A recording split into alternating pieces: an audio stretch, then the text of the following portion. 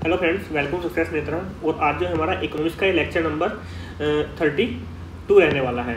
इसमें हम बात करेंगे डब्ल्यूटीओ के एग्रीमेंट ऑन एग्रीकल्चर के बारे में। यानी कि जो आपका डब्ल्यूटीओ वर्ल्ड ट्रेड ऑर्गेनाइजेशन है, इसका जो एग्रीकल्चर को लेके एग्रीकल्चर के जो एक्सपोर्ट्स होते हैं, उसके, उस पर जो एग्रीमेंट है, जो समझौता है वो क्या कहता है? यानी कि वर्ल्ड जो वर्ल्ड के अंदर जितनी भी कंट्रीज़ हैं, उनके बीच में क्या एग्रीमेंट इसको लेकर हो रखा है? इस लेक्चर में हम देखने वाले हैं एक डब्ल्यू यानी कि वर्ल्ड ट्रेड ऑर्गेनाइजेशन का एक ब्रीफ रिव्यू लेंगे कि ये क्या है।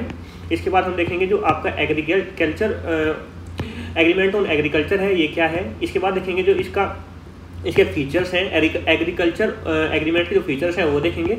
इसके बाद हम देखेंगे जो आपके डब्ल्यू यानी कि वर्ल्ड ट्रेड ऑर्गेनाइजेशन ने जो आपके इस जो आपकी सब्सिडी होती है एग्रीकल्चर सब्सिडी उसके बॉक्स हैं, तीन बॉक्सेज हैं। आपका एक है ग्रीन बॉक्स एक आपका है ब्लू बॉक्स और एक आपका एम्बर बॉक्स इसके बारे में हम देखेंगे। और जो आपका एग्रीमेंट ऑन एग्रीकल्चर है, इसका जो क्रिटिसिज्म है कि जो वर्ल्ड कंट्रीज़ है मोस्टली डेवलपिंग कंट्रीज़ के द्वारा जो इसका क्रिटिसिज्म है, वो क्यों किया जाता है? ये हम इस लेक्चर के अंदर देखने वाले हैं। तो दैन अगर आप हमें फॉलो करना चाहते हैं यूट्यूब पर इंस्टाग्राम पर ट्विटर पर या टेलीग्राम पर, आप फॉलो कर सकते हैं। At the rate success Netra हर जगह हमारा सेम हैंडल है। और अगर आपकी कोई क्वेरी है सजेशन है हमारे लेक्चर के रिगार्डिंग दैन आप हमें मेल भी कर सकते हैं। Success Netra at the rate Gmail dot com पर आपके जो सजेशन हैं, उनको कंसिडर किया जाएगा। तो चलिए देरी ना करते हुए शुरू करते हैं आज का लेक्चर सबसे पहले हम देख लेते हैं डब्ल्यू यानी कि डब्ल्यू के बारे में।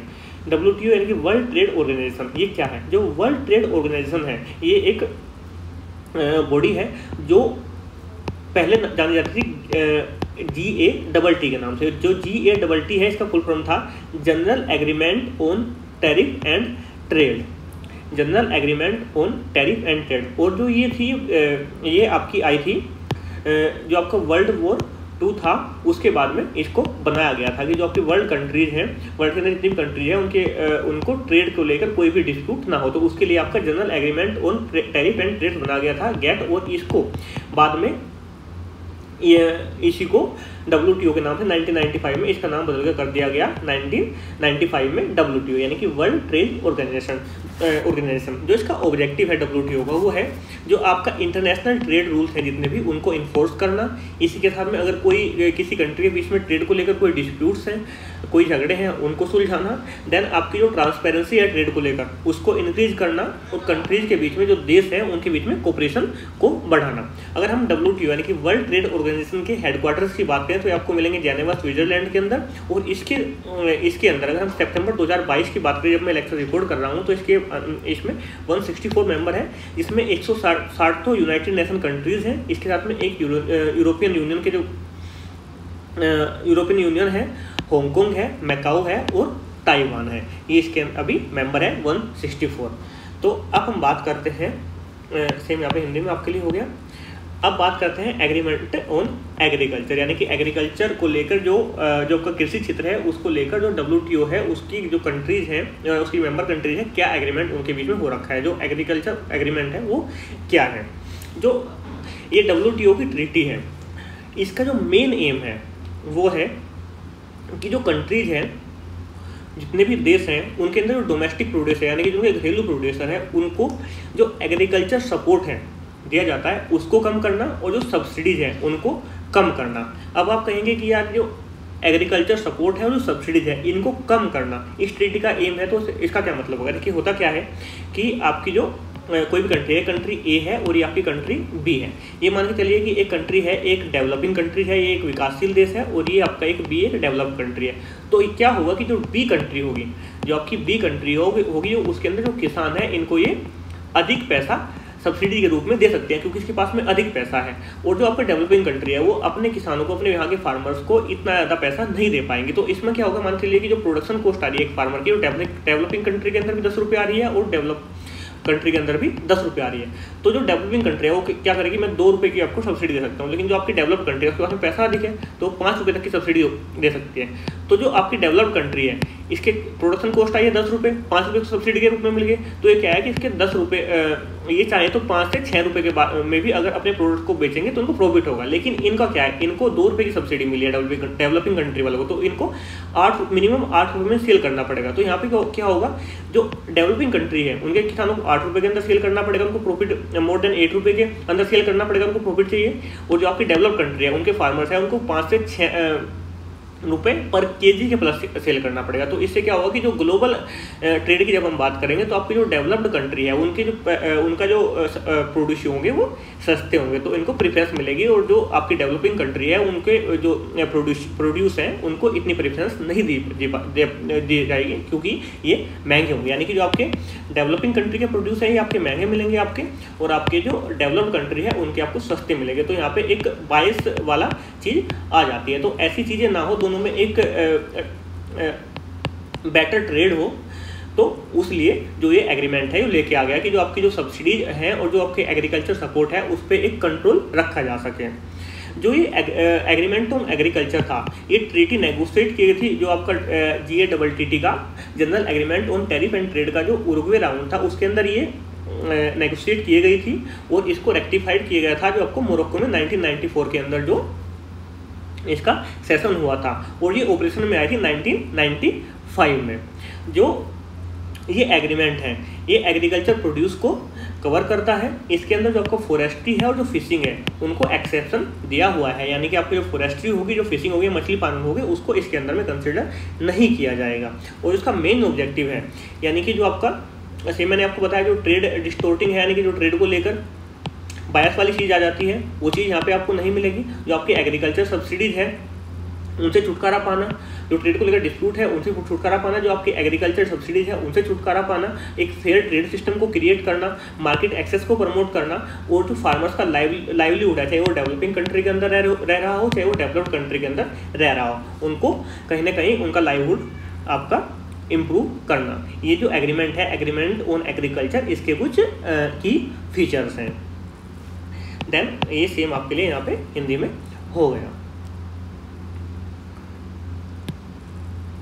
अब बात करते हैं जो एग्रीकल्चर ओन एग्रीमेंट है, इसके जो मेन फीचर्स है, इसके अंदर मेन तीन फीचर्स हैं। एक आपका होगा आपका एक्सेस ऑफ़ मार्केट सेकंड आपका हो गया, पहला आपका एग्रीकल्चर एक्सेस ऑन मार्केट हो गया सेकंड आपका हो गया डोमेस्टिक सपोर्ट और थर्ड हो गया आपका एक्सपोर्ट सब्सिडी अब इन तीनों को हम एक बार देख लेते हैं। जो आपका एक्सेस ऑफ़ मार्केट है, इसमें क्या होगा कि removal of all non tariff barriers जब हम एक्सेस ऑफ़ मार्केट की बात करते हैं, यानी कि हर एक कंट्री को, हर एक कंट्री के अंदर जो मतलब जैसे अगर हम इंडिया की बात करें और आपकी यूएस की बात करें और आपकी चाइना की बात करें तो इंडिया को यूएस की मार्केट का एक्सेस होना चाहिए यूएस को इंडिया की मार्केट का एक्सेस होना चाहिए और जो चाइना है चाइना को यूएस की मार्केट का एक्सेस होना चाहिए और जो यूएस है उसको चाइना की मार्केट का एक्सेस होना चाहिए।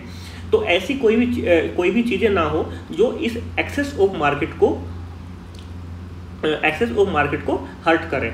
मतलब जो ये नॉन टैरिफ बैरियर्स हैं उनको आपको हटाना है। नॉन टैरिफ बैरियर के अंदर क्या होता है? जैसे आपने पता लगा कि कोई कंट्री है, कोई ए कंट्री है और ये कोई बी कंट्री है। अब बी कंट्री चाहती है कि ए कंट्री के अंदर अपना कोई भी चीज़ सपोर्ट करना। तो ये इसने ए कंट्री ने क्या बोला कि अगर आप दस रुपये की कोई चीज़ सपोर्ट की आप एक्सपोर्ट करेंगे तो हमें इस पर दस परसेंट हंड्रेड परसेंट टैक्स लगा देंगे। तो यहाँ पे बीस रुपये की हो जाएगी। यानी कि जो वेरिएबल टैक्स है, इनको आपको कम करना है। जो आपका इम्पोर्ट प्राइस है, उनको मिनिमम रखना है। जो गवर्नमेंट की ट्रेडिंग पॉलिसीज़ हैं उनके अंदर कहीं ना कहीं कंट्रोल होना चाहिए और आपकी जो लाइसेंसिंग एंड अदर सिस्टम है उनको कहीं ना कहीं कंट्रोल करने की रिक्वायरमेंट है। मतलब ऐसा नहीं है कि ये कंट्री है यही इसमें एक्सपोर्ट कर, कर पाएगी या सिर्फ़ आप जो है फ़ूड ग्रेन से आप एक्सपोर्ट कर सकते हैं ऐसा कुछ नहीं होना चाहिए। जो आपकी गवर्नमेंट की ट्रेड पॉलिसी है उनके उनके ऊपर एक वॉच रखना ये इसका एक एक्सेस ऑफ़ मार्केट का कंसेप्ट होता है। जो आपकी डेवलपिंग कंट्रीज़ हैं, यानी कि जो आपकी विकासशील देश है, उनको अपने जो टैरिफ हैं, उनके जो टैरिफ लगते हैं, उनको 24 परसेंट तक कम करना है आने वाले 10 साल के अंदर। जो मार्केट का एक्सेस है, वो वर्ल्ड वाइड इंक्रीज करना है। एंड आपका जो है, ये minimum access of will be required by 1995 हाँ। इसके अंदर क्या है कि 1986 और 88 के अंदर आपको क्या है कि हर एक कंट्री को मिनिमम तीन परसेंट, यानी कि जो उसका डोमेस्टिक कंजम्पशन है, जो उसका डोमेस्टिक कंजम्पशन होता है, मान लीजिए कि हम इंडिया की बात करें, इंडिया के अंदर जो गेहूँ की खपत है, वो से सौ के हो रही है तो उसके अंदर मिनिमम तीन परसेंट आपको मार्केट का एक्सेस देना पड़ेगा कि तीन के जी आपको बाहर से आप एक इम्पोर्ट कर सकते हैं, जो बाद में रेज कर दिया गया, पाँच परसेंट तक इसको बढ़ा दिया गया। तो ये एक्सेस ऑफ़ मार्केट के कुछ फीचर थे। सेम यहाँ पे आपके लिए हिंदी में टाइप हो गया। अब बात करते हैं डोमेस्टिक सपोर्ट की। डोमेस्टिक सपोर्ट के अंदर क्या है जो आपकी कोई भी पॉलिसी असिस्टेंट गवर्नमेंट द्वारा कोई पॉलिसी चलाई जा रही है, या आपकी जो कोई सब्सिडीज हैं, वो चलाई जा रही है, उनके जो डोमेस्टिक प्रोडक्शन है, उनको इंक्रीज करने के लिए कंट्री लेके आ सकती है। ये चीज़ इसके अंदर आ सकती है। मतलब ये है कि अगर जैसे इंडिया है इंडिया के अंदर कोई कोई भी फ़ूड ग्रेन है मान चलिए हम एग्रीकल्चर है। इंडिया को अंदर अगर अपना एग्रीकल्चर का इनपुट बढ़ाना है, लेकिन वो सिर्फ़ डोमेस्टिक यूज़ के लिए इसको बढ़ाना है तो दैन ये अपना जो पॉलिसी असिस्टेंट है सब्सिडीज अपने फार्मर्स को दे सकती हैं। जो ये सब्सिडीज हैं, ये तीन बॉक्स के अंदर डब्ल्यू ने इनको डिवाइड किया। है एक आपका ग्रीन बॉक्स एक आपका एम्बर बॉक्स और एक आपका ब्लू बॉक्स इसके बारे में हम बाद में देखेंगे।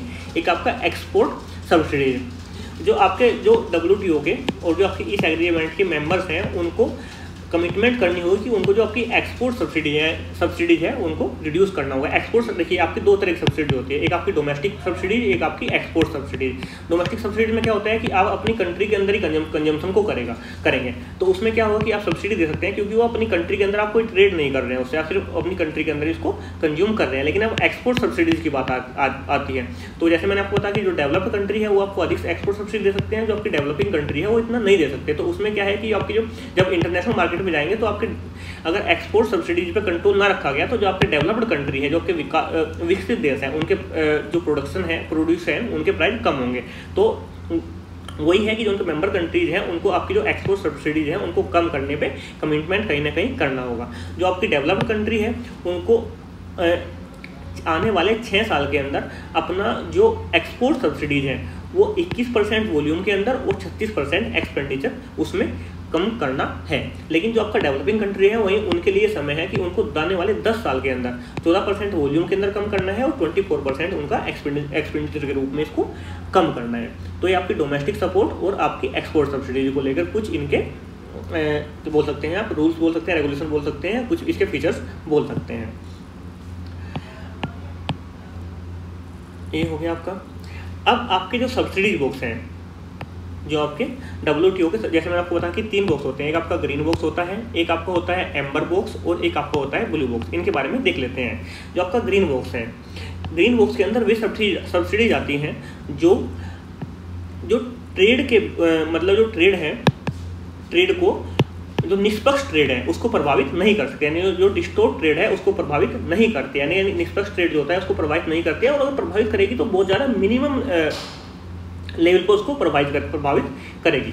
तो वो ऐसी सब्सिडीज उनको हम बोलते हैं ग्रीन सब्सिडीज के अंदर। इन सब्सिडी के अंदर कोई भी लिमिट नहीं होती है। अब जो सब्सिडीज होती हैं, इन सब्सिडी के अंदर कौन कौन सी होती है? अगर कोई गवर्नमेंट है, वो इन्वायरमेंटल को लेकर या कोई इनिशिएटिव ले रही है कि आपका जो पर्यावरण है, पर्यावरण संरक्षण को लेकर गवर्नमेंट कोई इनिशिएटिव ले रही है, या गवर्नमेंट कोई अपने जो फ़ूड ग्रेन्स है, उनको बढ़ाने के लिए, उनका उनका प्रोडक्शन बढ़ाने के लिए कोई रिसर्च वगैरह कर रही है, उस, उसमें कुछ फंड अलॉट कर रही है, या कोई डिजास्टर हो गया, उसको रिलीव करने के लिए आपकी गवर्नमेंट कुछ सब्सिडीज वगैरह दे रही है, या कोई कंट्री कंट्री के अंदर domestic food food assistant programme है। जैसे आप इंडिया के अंदर अगर हम बात करें तो आपका हो गया ये, जैसे आपका मिड डे मील स्कीम हो गया। ये जो ऐसी स्कीम्स हैं तो ऐसी स्कीम गवर्नमेंट ला सकते हैं, क्योंकि जो ऐसी स्कीम है, अगर आप मान लीजिए कि गवर्नमेंट के अंदर कोई इन्वायरमेंट को सेव करने के लिए कोई ट्रेड जैसे हम बात करते हैं कि अगर हम नलकूप वगैरह से पानी निकालते हैं, नलकूप से अगर हम पानी निकालते हैं तो उसमें क्या होता है कि आपका जो वाटर लेवल है वो नीचे जाता है। लेकिन यही गवर्नमेंट बोलती है कि भाई आप नलकूप नलकूप नहीं, आप ड्रिप सिस्टम का यूज़ कीजिए, इसमें हम आपको सब्सिडी देंगे। तो इसमें गवर्नमेंट का जो मेन फोकस है वो आपकी इन्वायरमेंटल को लेके है। तो इसमें जो प्रोडक्शन पे कोई इसका ऐसा नेगेटिव इम्पैक्ट नहीं पड़ने वाला है ट्रेड पर कोई नेगेटिव इम्पैक्ट नहीं पड़ने वाला है, लेकिन जो पर्यावरण संरक्षण है, उसमें इसका बहुत ज़्यादा पॉजिटिव इम्पैक्ट देखने को मिलेगा। तो इसमें गवर्नमेंट सब्सिडी लेके आ सकती है। या गवर्नमेंट क्या करती है कि कोई रिसर्च कर रही है। रिसर्च कैसे कर रहे हैं कि कम वाटर कम वाटर का यूज़ करके हम कैसे अपनी जो प्रोडक्शन है उसको बढ़ा सकते हैं? यानी कि या हम कम ज़मीन के अंदर ऐसे कौन से खाद या ऐसे कौन से फर्टिलाइजर्स यूज़ करें जो हमारा प्रोडक्शन इंक्रीज हो सके। यानी कि डायरेक्ट सब्सिडी इसमें गवर्नमेंट को नहीं देनी होती है। गवर्नमेंट को भी सब्सिडी होगी वो आपको इन्वायरमेंटल के रूप में देनी पड़ी होगी। दे, दे सकती है रिसर्च फंड के रूप में दे सकते हैं। डिजास्टर मैनेजमेंट के अंदर माने चला कि कोई इंडिया का कोई स्टेट है। मान चलिए अगर हम बात करें कि बिहार है, बिहार के अंदर फ्लड्स आ गए तो फ्लड्स के अंदर जो किसान है, उनकी फ़सल बर्बाद होगी तो उन किसानों को असिस्टेंट के रूप में ये गवर्नमेंट सब्सिडीज प्रोवाइड करा सकती हैं। तो इसके जो इस प्रकार की सब्सिडीज है, उनको रखा गया है ग्रीन बॉक्स सब्सिडीज के अंदर। इनके अंदर कोई भी लिमिट नहीं है। अब जो एम्बर बॉक्स आता है सब्सिडीज का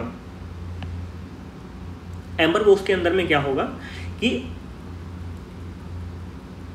ऐसी सब्सिडी जो एक कंट्री का जो प्रोडक्ट है एक कंट्री का जो प्रोडक्ट है, इस पर जो सब्सिडी दी जाती है, इसको सब्सिडी दे के जो दूसरी कंट्री का प्रोडक्ट है, उसके प्रोडक्ट को मार्केट में आने से रोकने के लिए में ये इफ़ेक्ट डालती है। तो उसको बोलते हैं हम एम्बर बॉक्स के अंदर सब्सिडीज मानी कि distort international trade by making product of one country cheaper as compare to similar product of the under country यानी मतलब जो ए कंट्री है, उसका प्रोडक्ट है दस रुपये का, जो बी कंट्री है, उसका भी प्रोडक्शन कॉस्ट है दस रुपये का। लेकिन जब इंटरनेशनल मार्केट में जा रहे हैं तो सब्सिडी के अंदर इसका प्रोडक्ट हो जाए आठ रुपये का और इसका हो जाए सात रुपये का। तो इन्होंने एक तो ट्रेड के अंदर एक विकृति पैदा कर दी इन्होंने, एक निष्पक्ष ट्रेड की जो भावना थी, उसको इन्होंने हर्ट कर दिया। तो ऐसी जितनी भी सब्सिडीज आएगी, वो आपकी एम्बर बॉक्स के अंदर आएगी। तो ऐसी जो सब्सिडीज है, वो डेवलप्ड कंट्री के लिए आप, इन्होंने कैप की गई कि आप मैक्सिमम पाँच परसेंट तक ऐसी सब्सिडी दे सकते हैं, और जो डेवलपिंग कंट्री है, वो दस परसेंट तक आप ऐसी सब्सिडी दे सकते हैं। वो भी टोटल आपकी कंट्री के अंदर इतना एग्रीकल्चर प्रोडक्शन होगा उसका। यानी कि इंडिया के अंदर अगर आप सौ के का प्रोडक्शन मतलब सौ रुपये प्रोडक्शन कर रहे हैं तो उस पर आप दस रुपये की आप सब्सिडी दे रहे हैं। अगर यहीं यूएसए के अंदर प्रोडक्शन हुआ है सौ रुपये का तो यूएसए आपकी पाँच रुपये की सब्सिडी दे सकता है। यानी कि पाँच परसेंट का डेवलप्ड कंट्री के अंदर है और दस परसेंट का आपका डेवलपिंग कंट्री के अंदर इसमें कैपिंग रखा गया है। और जो ऐसी सब्सिडीज हैं जिसमें जो सब्सिडी आती है वो कौन कौन सी आती है? जैसे आपकी फर्टिलाइजर्स के रूप में सब्सिडीज हो गई, आपकी सीड्स के रूप में सब्सिडीज हो गई, आपकी इरीगेशन के रूप में सब्सिडीज हो गई, ये आपका जो एमएसपी यानी कि मिनिमम सपोर्ट प्राइस यानी कि आप उगाओ इतने पैसे पर तो हम आपका खरीद ही लेंगे। तो आपकी जितनी भी सब्सिडीज आएगी, ये आपकी आएगी एम्बर बॉक्स के अंदर। अब देख लेते हैं हम जो ब्लू बॉक्स होता है। ब्लू बॉक्स के अंदर सब्सिडी आती है, जिसके अंदर कोई भी कैप नहीं होता है।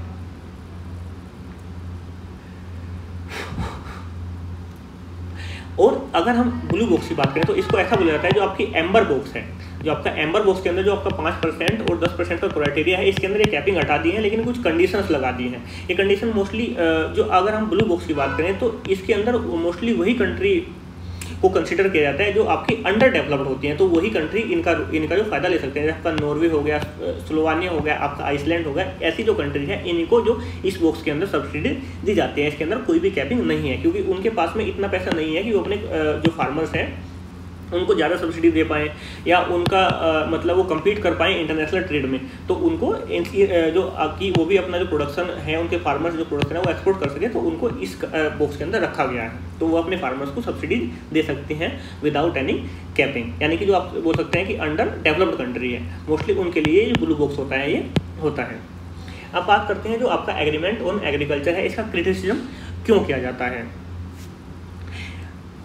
इसमें क्या होता है कि जो आपकी डेवलप कंट्री है डेवलप कंट्री है, और जो आपकी डेवलप डेवलपिंग कंट्री है मेनली दो, जो दो तरह की कंट्री होती है, आपकी डेवलप कंट्री और आपकी डेवलपिंग कंट्री इन दोनों कंट्री के बीच में हमेशा असल चलती रहती है।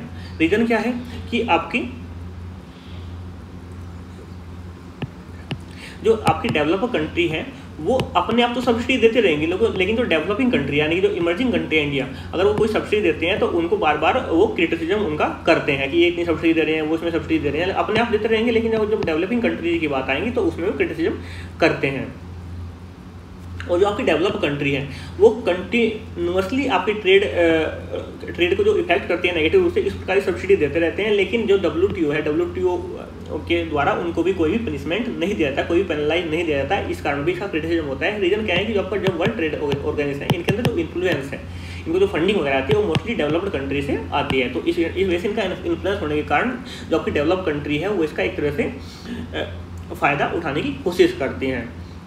सेम चीज़ होगी, आपकी जो डेवलप कंट्री है, वो रेगुलर वो आपका रेगुलरिटी क्रिटिसाइज करती रहती है डेवलप कंट्रीज़ को, जो पॉलिसी बनाती है अपने फार्मर्स अपने किसानों को सपोर्ट करने के लिए। और एक इंडिया और जो आपकी चाइना की जॉइंट रिपोर्ट है, उसके अंदर ये भी देखने को मिला है कि जो यूएस और कनाडा और यू ईयू यानी कि यूरोपियन यूनियन की जो कंट्रीज़ हैं, जो डेवलप्ड कंट्रीज़ हैं वो अपने किसान को हाइयर सब्सिडी प्रोवाइड करती है then rest of the world मतलब वर्ल्ड के अंदर जितनी भी कंट्री है, उनसे ज़्यादा सब्सिडीज प्रोवाइड करते हैं डेवलप कंट्री जैसे यूएस कनाडा और आपकी यूरोपियन यूनियन होगी ये सब चीज़ें।